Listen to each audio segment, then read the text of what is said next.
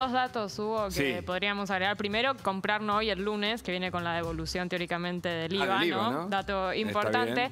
Y el otro, en lo que decía ahí de cuando dijo el primer ingrediente es harina integral, significa que tiene harina integral, es porque el orden de los ingredientes eh, implica la mayor de mayor a menor cantidad. Entonces, si vos de un... Ordenan en el- Exacto, si vos ves que primero es etiqueta. azúcar, estás comiendo algo que lo que más tiene de proporción en ingredientes es azúcar. Entonces, ¿eh? por eso es importante leer.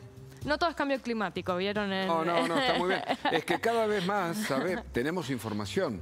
Mira, hay dos cuestiones que, que están relacionadas con la época que nos toca vivir, ¿no? Esta posmodernidad, nuevo siglo. Por un lado, somos cada vez más sedentarios. Sí.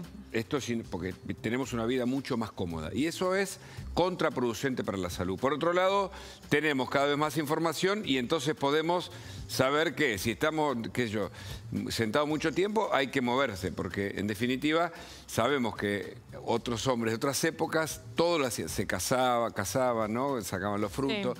Generaba, digamos, una actividad del cuerpo que era mucho más saludable. Así que hoy tenemos la información y el azúcar sabemos que es malo. Sí, y, que hay azúcar en todos los productos, incluso en los que son salados. Pero bueno, justamente eh, la forma en la que estamos buscando producir los alimentos para alimentarnos es una de las causas que da lugar a pérdida de biodiversidad, a deforestación, que esa es una de las presiones que estamos teniendo sobre el ambiente. Hoy van a ver un titular que dice que hemos sobrepasado seis de los nueve límites planetarios.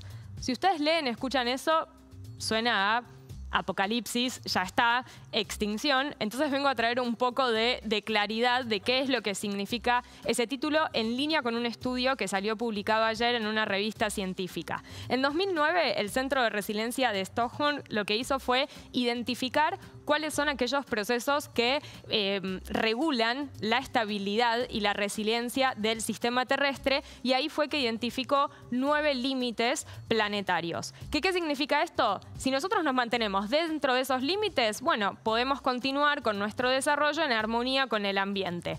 Empezar a sobrepasar esos límites implicaría empezar a poner en riesgo justamente ese equilibrio de estabilidad que tiene el sistema terrestre y tener en consecuencia impactos en el ambiente, pero sobre todo también impactos en nosotros. Bueno, el reporte que salió ayer, que por primera vez estudia como el estado en el cual se encuentran en conjunto estos límites planetarios, lo que dice es que ya hemos sobrepasado seis de esos nueve, que son cambio climático, contaminación química, ciclo del nitrógeno y del fósforo, el ciclo del agua, cambios en el uso del suelo, por ejemplo, a través ¿no? del avance de la frontera agropecuaria y pérdida de biodiversidad. En esos seis límites los hemos sobrepasado.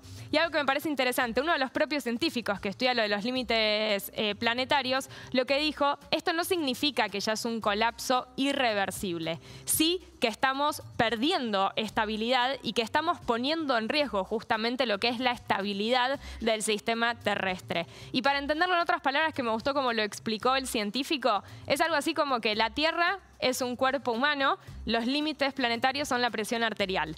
Todavía no tuvimos el paro cardíaco, pero estamos en riesgo o empezamos a tener ciertos síntomas. Estamos en riesgo que- las arterias. Exacto, que podemos llegar a eso. Todo esto siempre a lo que tiene que dar lugar, más allá de los títulos apocalípticos, tiene que ser a la acción y también entendiendo que es trans, digamos, la acción en uno va a tener incidencia sobre otro, porque, eh, digamos, el uso del suelo está también combinado con lo que es cambio climático, la pérdida de biodiversidad también. Entonces, la importancia de trabajar desde todos los sectores, eh, basados obviamente en ciencia, que eso me parece que es muy importante en estos días, eh, reforzarlo que las políticas y las acciones desde el sector público, no sé por qué te reís, Hugo, desde el sector público. No, no y- tenemos ningún ser por acá que... no, que- ay, me voy a permitir hacer una bajada que, ojo con difundir al negacionista solo sin aclarar lo que dice la ciencia, porque si no estamos solo difundiendo el mensaje negacionista y de desinformación. Entonces me parece que ahí hay que tener en la era de la mucho cuidado. Es un- es- ese es otro tema. Es como que en vez de tener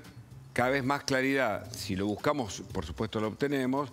Tenemos mucha confusión, hay mucho ruido. Exacto. Bueno, esto entonces lo que nos tiene que llevar, que digamos, a lo que tiene que convocar este, este estudio es esto de un llamado a la acción, es una situación de alerta, pero que ese alerta no en un discurso apocalíptico lleve a la inacción, sino que por el contrario hay que actuar, hay que hacer un montón. Y sobre eso, de acá a diciembre que se viene la COP, Hugo, vamos a, a ir profundizando. De hecho, la próxima semana, desde acá voy a estar cubriendo a distancia lo que pase en Nueva York con la cumbre que convocó el secretario general de Naciones Unidas, así que te voy a traer más detalles. Excelente, muchas gracias, Thais. Muchas gracias a todo este equipo, equipazo en el canal de la ciudad, para este primero que nos toca. Quédate.